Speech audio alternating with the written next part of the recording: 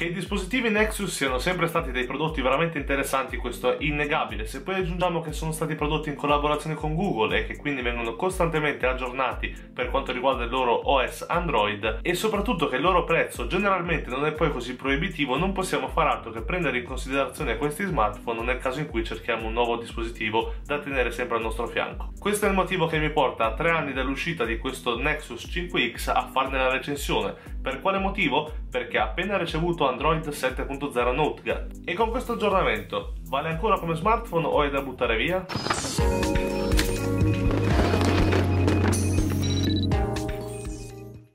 La confezione ragazzi se proprio ve la devo dire tutta è l'unica cosa che mi ha lasciato con l'amaro in bocca perché al suo interno non c'è nulla di speciale, nulla di particolare, non ci sono le cuffie, l'unica cosa che c'è fuori dall'ordinario è la spilletta che serve per andare ad estrarre lo slot per la SIM riposto nella parte sinistra dello smartphone.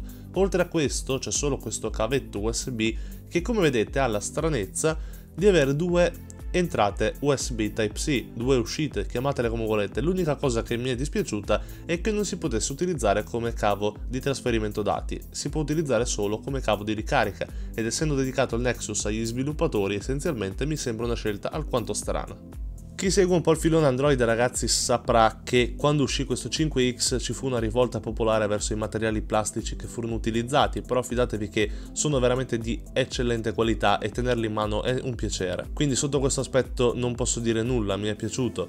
Per quanto riguarda il display anche qui veramente siamo a livelli ottimi, 5,2 pollici, IPS Full HD 1920x1080 pixel la risoluzione, modalità tablet con Android 7.0, aggiornamento che ha portato veramente molte migliorie. Per non allungare troppo questo video non ve le farò vedere tutte, vi consiglio però la visione del video che ha fatto il mio collega Fulcro e che ha spiegato veramente in maniera molto chiara e eh, veloce tutte le nuove funzioni di Android 7.0 sul Nexus 5X. Ritornando a parlare del display, l'angolo di visuale è forse la cosa che mi è piaciuta veramente di più, è veramente ottimo e la visibilità sotto la luce del sole anche qui è, veramente molto molto valida. È ottimizzato il display per la riproduzione di video in 4K perché ovviamente avendo una fotocamera che eh, riproduce e registra video in 4K deve poterli riprodurre quindi hanno ottimizzato questo display affinché possa riprodurre video in 4K. Come vedete questo è un filmato a questa risoluzione e lo sta riproducendo senza alcun problema. Per quanto riguarda ragazzi la gestione del multitasking delle applicazioni abbiamo 2 GB di RAM, sembrerebbero poche invece rispondono veramente molto bene, non si ha nessuna difficoltà ad utilizzare questo dispositivo durante un utilizzo sia quotidiano che stress. Andiamo a parlare poi di fotocamera perché con questo nuovo aggiornamento è stata migliorata notevolmente. Se volete vedere la prova video, la prova della videocamera la trovate sul canale, link in descrizione. Come vedete con Android 7.0 è stata aggiunta la modalità Phonosphere, ovvero la foto a 360 gradi. La modalità di scatto è abbastanza intuitiva e di risultato devo dire abbastanza apprezzabile. Ma andando a parlare di cose serie che vi piacciono, questo lo so, ovvero i numeri, i risultati di questo dispositivo, andiamo ad effettuare un benchmark con Geekbench 4, l'unica applicazione che utilizzo per effettuare appunto questa, questa rilevazione delle prestazioni del dispositivo, essenzialmente va a sforzare, a far sforzare tutto il dispositivo dandoci un risultato numerico e mettendocelo in classifica rispetto ad altri dispositivi. I risultati sono veramente entusiasmanti, soprattutto per quanto riguarda il single core, che alla fine è la cosa che più conta quando si vanno ad effettuare queste tipologie di test. Come vedete raggiunge risultati eccelsi, soprattutto perché in single core supera il OnePlus 2.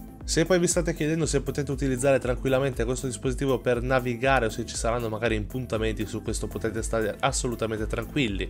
La navigazione web filerà assolutamente liscia, le pagine si apriranno, si renderizzeranno in maniera veramente molto rapida e anche nel momento in cui dovesse rallentare un attimo nel caricare le foto vedete che la pagina scorre veramente molto molto fluida.